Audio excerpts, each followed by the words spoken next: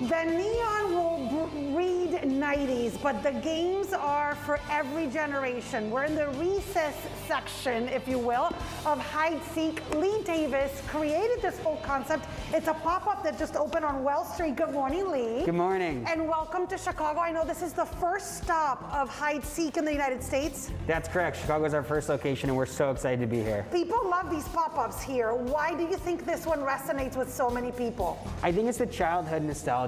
People can come here, and for one hour, we give them what we call recess from the real world. For one hour, they get to feel like a kid again. Yeah.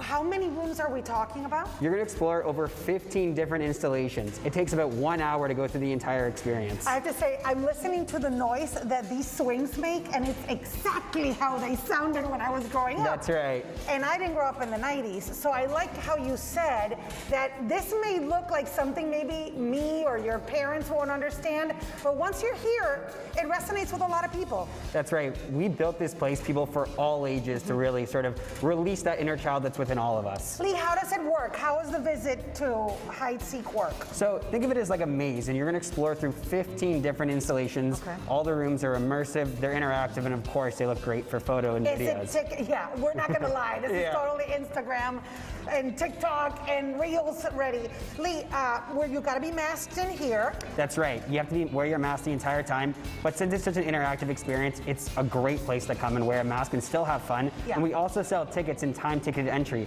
So the, the space will never be too crowded and you can enjoy it with your friends and family in a safe way. Where can people find out more information? You can go to our website to buy tickets at gohideseek.com. I know. And uh, as you can see, Robin, we told my daughter to play with this, and she won't climb it. Do you think she's my kid?